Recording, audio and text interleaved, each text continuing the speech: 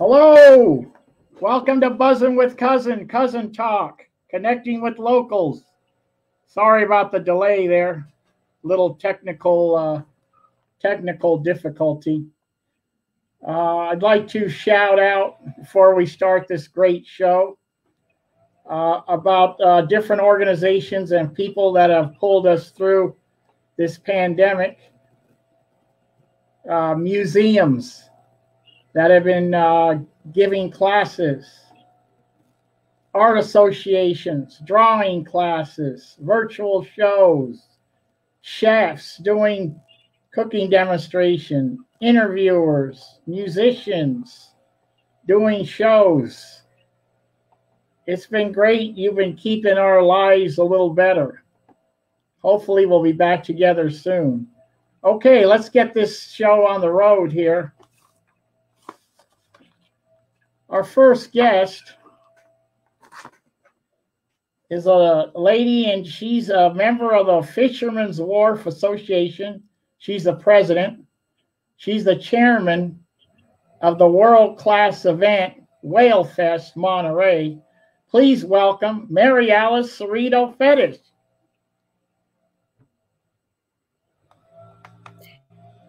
Hi, Johnny. Welcome you, Thank you for having me on board your your show. This is great. This is very exciting. I love it. Yeah. So, uh, Mary Alice, if I uh, I got went through your profile, if I list everything that you've done in this community, we need another seven hours. All I want to say is, I uh, we appreciate your dedication to Monterey and many years of dedication to Fisherman's Wharf. We thank you. Well, thank you, Johnny. Yeah. So it's Uh, been pretty exciting to be uh, part of this uh, extended family. My grandfather established a two-table restaurant uh, close to the wharf in 1926, and so my family's been around for a, a little while, and um, it's very exciting dealing with all of the different uh, intricacies, especially right now for Fisherman's Wharf, making sure that um, the restaurants and the and the shops are able to stay open and be able to survive the current situation between COVID and smoke. It's kind of a, a, a pretty uh, exciting time. Uh, we've come up with all sorts of policies to be able to make sure that people are able to still enjoy the wharf and maintain their six foot distancing, enjoying the fine foods on the restaurant and all the fun things that are in the in the gift stores. Plus, being able to go whale watching and fishing and sailing. It's so it's it's still a, a it's still a great time to be had on the wharf.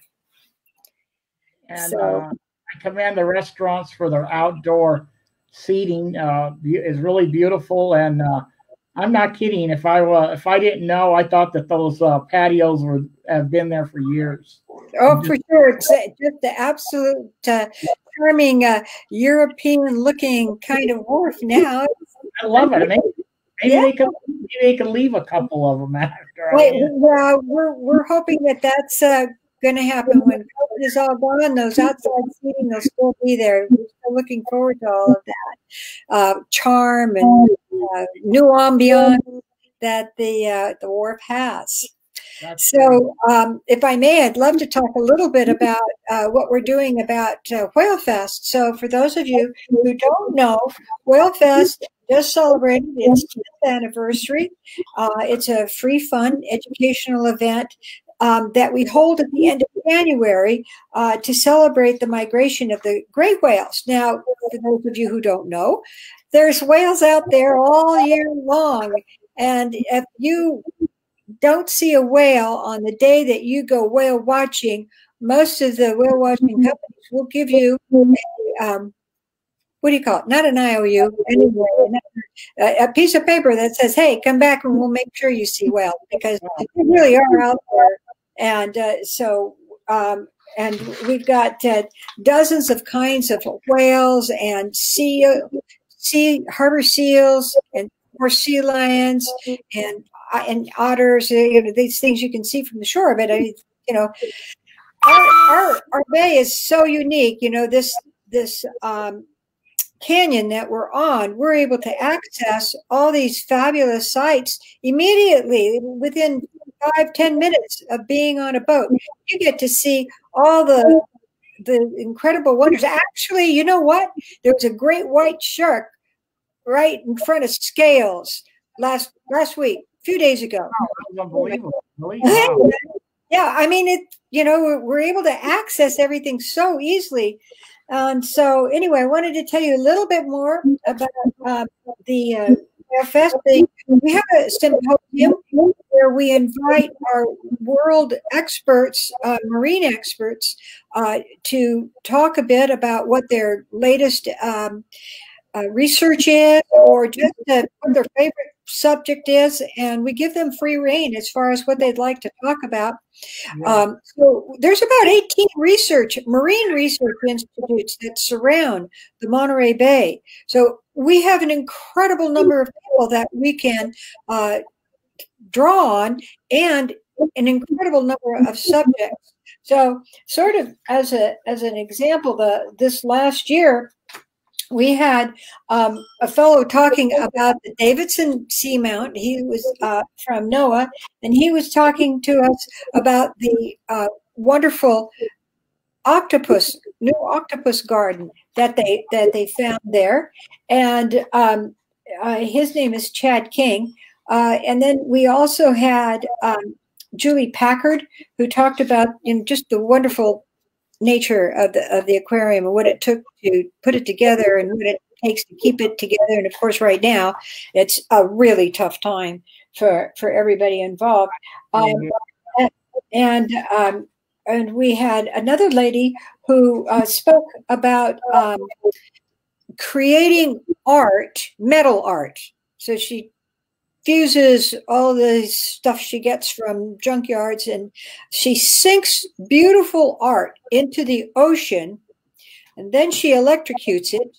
And because of this electrolysis it brings coral. So she's creating coral gardens through art and engineering. So she, she was she was uh, very she was very exciting. Uh, we also had Jay Nichols uh, a, a um, a New York Times best-selling author who uh, wrote The Blue Mind, which explains why you need water. You need it to you need to hear it. You need to see it. Obviously, to drink it, to bathe in it, everything, and and your cells change as a result of your exposure to water. It's it's a fascinating book, and um, oh, and just anecdote, sadly, um, Jay Nichols' uh, home just burned in wow. that Santa Cruz fire. Um, Peggy Stap always brings us, she's the director of Marine Life Studies. She always brings us up to date on the latest whale uh, entrapment. And uh, they also have an exhibit at the uh, Whale Fest with the tools that they use to, uh, to to disentangle the whales. And they're, uh, anyway, very, that's a very exciting um, exhibit. Uh, one of our most popular exhibits, and obviously we're going to be reinventing Whale Fest for January of next year, but in the past we've had D, which is a 43 foot long inflated uh, humpback whale she's a female whale. I don't know if things are different if it was a male whale. But anyway, when you walk inside of the whale, you get to see where the organs are. And, and I never expected the organs to be where they are. It's, it's quite exciting. Um, and uh, the, uh, the uh, Bill Gilly is the world expert on Humboldt squid. Now, I know because you're from Monterey, you're familiar with the Humboldt squid, that they, they can grow over 20, 30 feet long. They're monstrous. Exactly. They're monstrous. They don't taste good, but they're monstrous. Well, at least I haven't figured out how to make it taste good. But um, they they now are maturing at about two feet in the Sea of Cortez. So this is extraordinary. So, any any if anybody's catching a, a very large uh, Humboldt squid right now, that's a really old squid because the new puppies that are coming up the way they're only two feet long at maturity and they're making babies that are only growing to be two feet long. So Bill Gilly is very upset. He doesn't know why this is happening. But to educate the public, he brings about a, I don't know, five or six foot humpback, um, humpback a Humboldt squid to the whale fest and dissects it for people, showing them just how the body works. But he shows mm-hmm. how the lens of the eye of the Humboldt squid is the same as the human eye. And so this is, you know, a very exciting and extraordinary thing. Oh, I wanted to mention one thing, and that during the during the whale fest, all of the whale watching boats and the fishing boats and the sailboats mm-hmm. Are available for people to go out. Now, the event is free, but obviously those are not the three things. But we also bring a whole lot of boats to the event. So we bring research vessels from NOAA, Moss Landing Marine Labs, and from Marine Life Studies. The Coast Guard brings their boats, which are rescue boats. They've got this one extraordinary boat. It's called a surf boat. And uh, it's a 29 footer when it when it gets rolled over and go violent big seas, it flips itself right back over. And I don't know what happens to the guys inside, but the boat's upright. And uh, the fireboat comes shooting off uh, the the big sprays of water, very exciting. And then also the yacht club brings sailboats and teaches. They they bring them up to the um, to the causeway near the Custom House Plaza, and so you're able to see how to how to tie knots properly. Uh, they give lectures on how to properly sail in the Monterey Bay National Marine Sanctuary, so you're not harming the critters and creatures. You got to you know stay a particular distance from them. Distance away. Uh, yeah, and um, also one of our one of, we have several activities. One of our unusual activities is that Monterey Bay Abalone Company brings their abalones, and they um, the, the little ones, but this big, and and uh, we we have a big uh, kiddie swimming pool for them, and then they we have races, abalone races, and if you cover, if you create a shade with for the abalone, then they think they're really safe and they're protected from predators. Oh, yeah. remove that shade, then they, they take off and and they start running to the shade of the side of the swimming pool. And people sponsor the different um, abalones and we have lots of fun watching them race. Like um, okay great yeah. racing, they're racing. They're they really do move. All 21 legs or however many they have. It's more like racing come on number three. Is it uh, yeah. what a, a two-day event or yeah, two day event, 10 to 5. And uh, uh, as I said, I'm not exactly sure how we're going to do it. Probably half virtual and half live or real um, when it comes to January. We're still our committee is is working uh, like crazy trying to figure figure things out. Uh, we've had a, a, couple of events just to keep the Whale Fest top of mind. Um, my husband, Nick Fettis, is a, an accomplished pianist, and he raised a lot of funds with a concert. And then um, uh, we had an essay uh, contest uh, asking uh, kids in middle school and high school to uh, review our symposium because all, the, all of our symposiums are on YouTube. So everybody can go back to 2020, 2019, 18, 17, I think even uh, part of 16 is, is to catch these fabulous um, uh, presentations. So we asked the kids to, to review what was presented in 2020 and then to an essay. And so we had a great response. And the kids said, anyway, we had an award for them. And then Tene Shake did a cooking demonstration for us.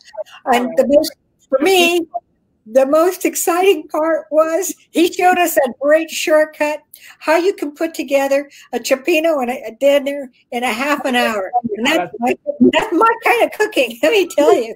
That's great, yeah. So, so um, the uh, uh, Whale Fest Monterey is a world event. I mean, you got people coming from out of the country. Absolutely, that's that's very true. And different yeah. states. Uh, yeah, I think I think we had something like 21 states and 10 countries because we do a survey, and so yeah. that's how we kind of figure out where we're where you know where everybody has come from. And oh, another thing that uh, we found uh, unusual is that the ages were off the chart. I mean, to the very young, to the very, very old, as well as um, the education level. It crossed the board. Um, people who had multiple PhDs found the Whale Fest fascinating and that, that they could learn here. So it's not just kids who can learn like crazy and and adults and high school kids and graduate students or whatever. I mean, people who've been in the marine world for a long time are still able to learn. We offer something for everybody, and every year I learn more of what we are able to to offer. It's, it's a, sort of a everything for everybody, which is pretty exciting. So, to, to learn. Uh, do you extend to the plaza or, or the uh, custom so, or everything's war? As an experiment, we did this last year and we found it it expanded just a little bit too much. So so uh, as I said, this for 2021 we're still kind of figuring it out. But let's say COVID's all gone in 2022, we yeah. would expand just a little bit into the uh, Custom House Plaza. Probably say like the the one of the of the Coast Guard boats, a couple of the very large exhibitors. Also, um, as we become more popular, we are being contacted by various organizations to to come and join uh, the Whale Fest. So um, it's it, it's growing. What's unique is that not every year will the same organizations be able to come because so many of these organizations are volunteer driven. And so it just depends how many volunteers they can get for two days, the weekend. So if these people are working Monday to Friday, do they necessarily want to give up both Saturday and Sunday in order to be able to to operate? Um, just as, as an additional, um, we have we have music and um, and we have Gyotaku and Scrimshaw. Uh, the Gyotaku is from our Japanese heritage. When prior to World War II, most of the businesses on the wharf were owned by Japanese. And so it's the ancient art of stenciling in general, stenciling. But what they did was they stenciled fish in order to post it above their fish tanks and say, okay, here's the fish that's in here, and this is how many we caught today. So what we do is um, Monterey Fish gives us some squid and some sardines, and then we give kids paper or anybody, adult paper, and then they and and multiple colors, and then they're able to stencil the fish. So they paint the fish, and then they they put the paper on top, and then we hang it up to dry and then they come back and get it. Now, this, one of the things that we're working on right now as a committee is creating masks. And so what we're going to do is we're getting these really well constructed, you know, COVID masks, yeah. and we're going to stencil the squid and the fish onto the masks, and you can wear a sardine or you can wear a squid anyway, and we're going to sell them. anyway, that, that that should be kind of fun. One of the things that I didn't get a chance to talk about is the Marine Mammal Center release. And we do that on Sunday morning, and that's something we probably will be able to do. I need to coordinate with the Marine Mammal Center.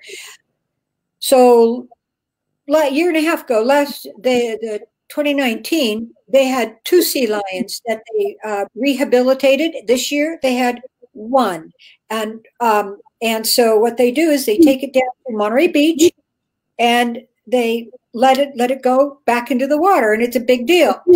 Mm-hmm. The, the, the year and a half ago, they had, when they had two it was so sweet. It was like they kissed. They ran down the beach, mm-hmm. they got to the water line, they kissed, and then they went in the water. Went in. Wow, mm-hmm. that is that is really great, and it sounds like uh, anybody out there watching, tuning in, is the Whale Fest Monterey is something for the whole family. Oh, uh, absolutely. Young kids, parents, uh, PhDs, uh, students. There's a little bit uh, Whale Fest for everything, and you're going down world famous Fisherman's Wharf. It's a it's a great event. And Mary Alice, how do we donate? And do you have any more fundraisers coming up? Okay, so yes, we uh, first of all, uh, whalefest.org uh, has a donate button just really simple, whalefest.org. And as far as um, events coming up, I, I, was telling you about you know the masks. So we're gonna we're gonna video that and show everybody how we made the mask, and uh, and then uh, we'll ask people to donate um, for the masks. The one that I'm very curious how we're going to work this out is, oh, so I said earlier, my husband pianist. And working with John Ryan at MBARI, he has hydrophones in Monterey Bay. And then we're going to work with a violinist. Now, when when John Ryan presented at the Whale Fest a couple of years ago, we had to bring in special woofers in order to have your body properly rattled. You know, like when you go to the movie theater and you're mm-hmm. watching, a, uh, you know, a, a super movie or whatever, and your sh- seat shakes. Okay, like yeah. that. You have so that is all that is the, the sounds that the blue whale makes. That it the frequency level is so low that it moves your body. So we're oh, going to be comparing the frequency of the piano and the frequency of the violin. So how low can you go on a piano and then how much lower does the gray whale go on a, on a frequency scale? When then you're when you're dealing with the dolphins and you're at you're the violin goes way up there right? And and the dolphins are off the chart off off of our hearing chart and so to show the frequencies so we are we're in the process of, of putting that together so that the whole thing makes um, is presented in a in in a fashion that we can see the charts, hear the music, and and um, and and anyway, so that we can ha- have that all explained. Um, so I'm really looking forward to that one. I said the masks. Tim Thomas. Tim Thomas is going to give a, a history of the wharf, and we're going to work with Tim. Tim has uh, been a presenter with the Whale Fest a couple of times. Uh, one time, Johnny, you, you think that people who have been on the wharf forever know so much about the wharf. And there were several of us business owners who participated in his wharf walk, which is every first of the month, every Saturday, first Saturday of the month at 10 o'clock. Um, and when he got through with giving us a history all of us combined, we must have represented 200 years uh, on the wharf. Uh, uh, you know, if you combined us all together, yeah, we only knew about 25 percent of what. Yeah, he's unbelievable. He's really unbelievable. Well, he's wow. he he's a walking museum. He's you know he should be a national history yeah. historic site. Yeah. and so he's really great. I had him on the show a couple weeks ago. He was great. Uh, Mary Alice. Um, we really thank you for coming on to the show and sharing your uh, little bit of your life on the wharf and Whale Fest Monterey. We're really going to be looking forward to it. If you have any information, make sure you post it. Let me know so I can let everybody know. And uh, I will. Thank you for what you do in the community and have a great day. Stay safe. Thanks so much for having me on, Johnny. Take care. Thank All you. Right. Bye. Bye. Okay, that was great. Mary Alice Cerrito Fettis, longtime Monterey re- resident. And And uh, now, before we go to our second guest, I got a little reminder. And uh, the reminder is the wharf, speaking of the wharf, the wharf parking lot, Monday through Thursday, two hours of free parking. Monday through Thursday. All you got to do is show an ID, a local ID, and you got two hours. Park your car, go to the brewery, get a designated driver, but go to the brewery, go to the wharf, have lunch, have an early dinner, take a walk. So take advantage of it. Monday through Thursday, two hours of free parking. Okay, great. Okay, let me introduce our second guest.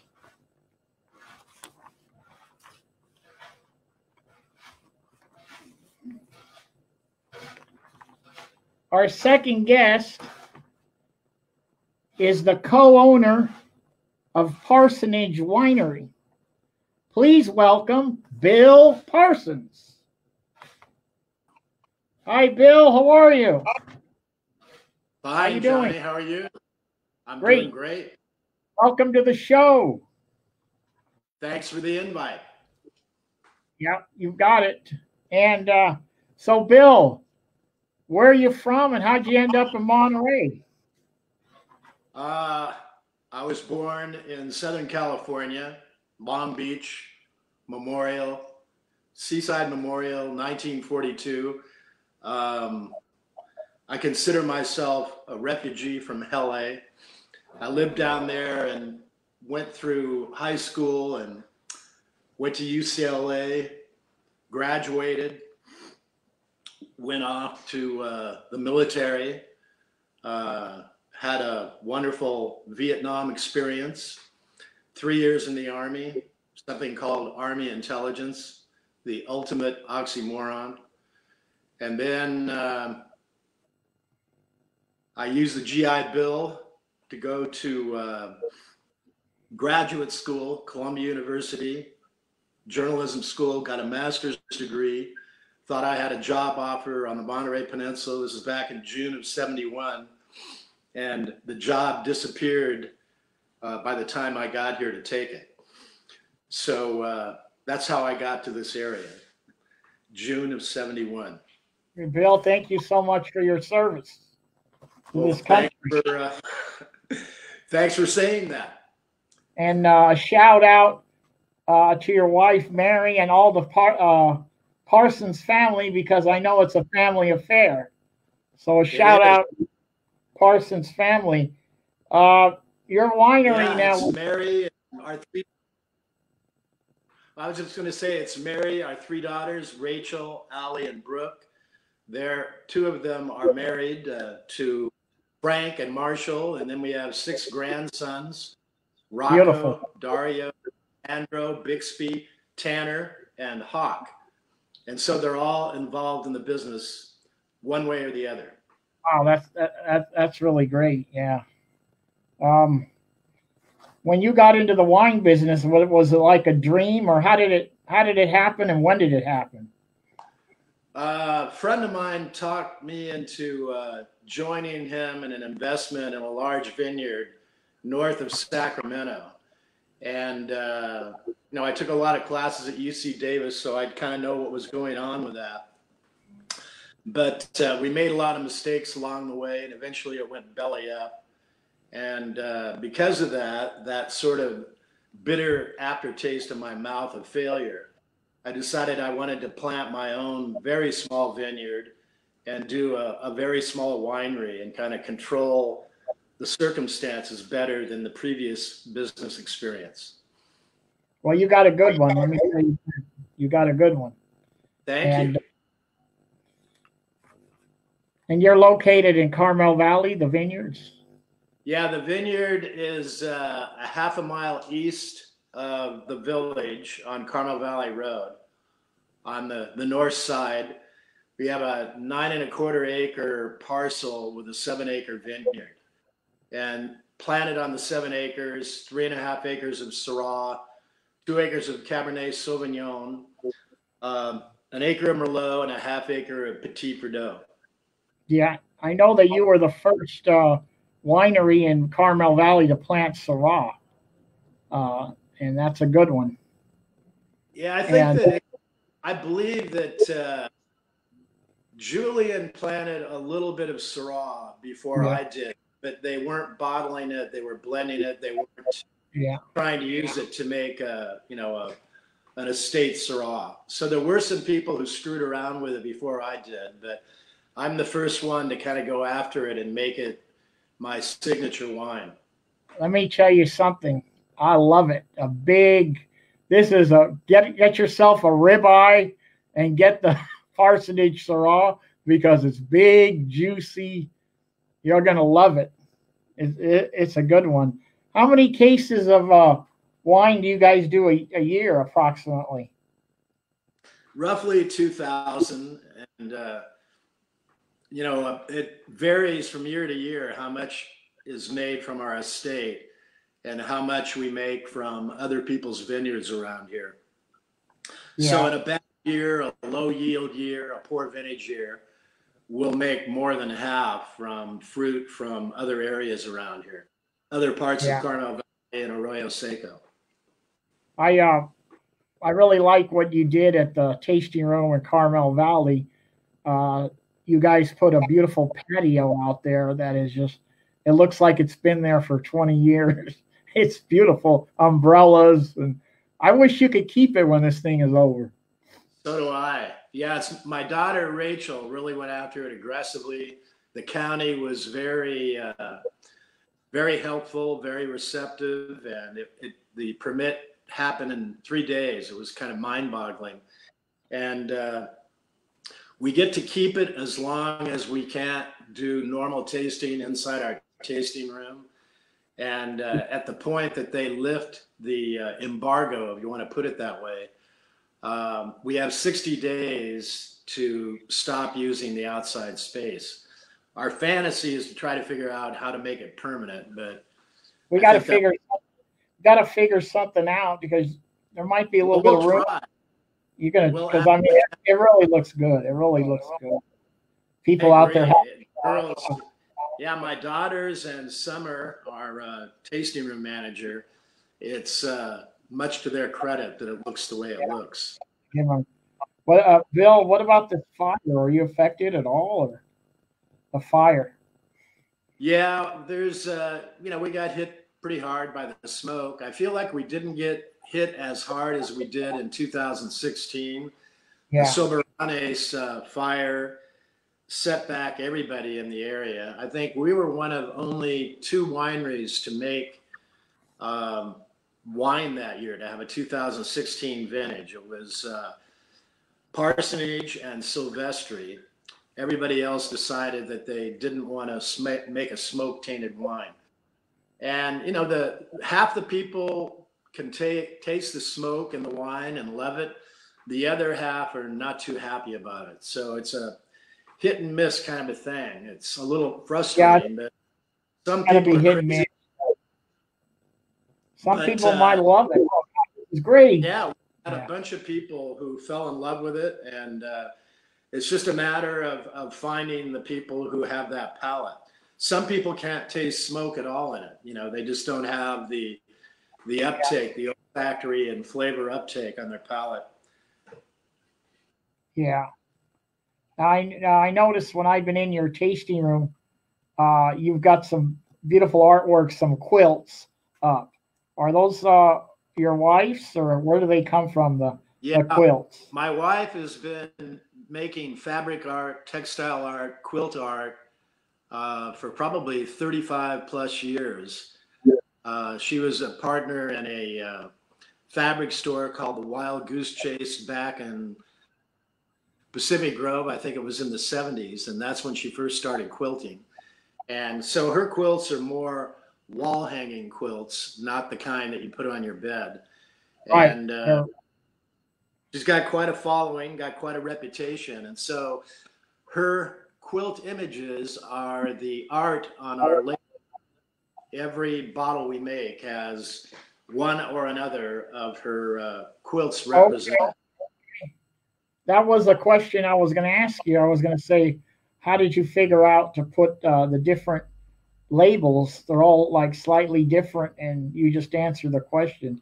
That that's really good. They're really cool looking labels. I love it. They Yeah. are. They're unique. And uh, the interesting thing is, we're probably the, uh, we may still be the only person making giclée images of her quilts. We've sold hundreds, if not thousands. Oh, okay, got it, got it. Here. Yeah. So a lot of her quilts are represented as an image on canvas, uh, giclée form. Um, the technology's been around for quite a while, but I remember the first time I taught, I said, I'm gonna, I'm gonna get some images of your quilts and we're gonna make giclées out of them and we're gonna sell them in the tasting room. And she thought I was an idiot. She thought I was a fool, but I, uh, I made her eat those words. She's Oh. actually sitting there in the kitchen nook listening to me. Right, you- you say hello. You say hello for us, Bill. That, that, that that's really. She says hello, Mary. She says, Hi, Mary.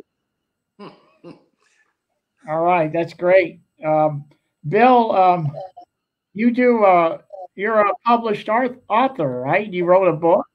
Can you tell us about? published.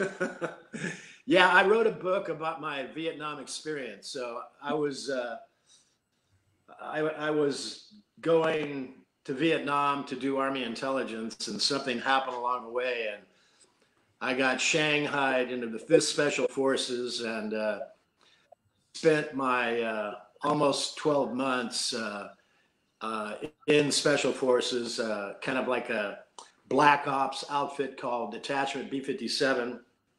And uh, I was in an A team on the Cambodian border for about eight months. So I wrote a book, um, an exaggeration of my experiences uh, when I was there. And I was in Vietnam late 66 through most of 67. And so my book takes place over a very brief period of time as little as two and a half to three months. So I compressed all of my experiences, the combat experiences, and the uh, unique things that happened. I exaggerated it dramatically, um, embellished it dramatically. My uh, superhero, he has, he ends up with uh, superpowers along the way.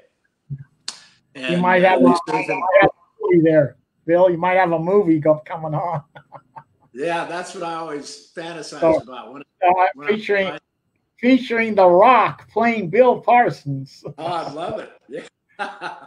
We'd have to make him pretty young. You'd have to be, I was there when I was 24, 25 years old, but uh, we'd have to uh, use that, you know, unaging uh, program, the unaging app, if The Rock wanted to be. My hero's name is Will Parrish. And the whole idea was a lot of people notice this like, will he perish? Well, I don't want to give away the ending, so maybe Okay. he perishes, maybe he doesn't. Have to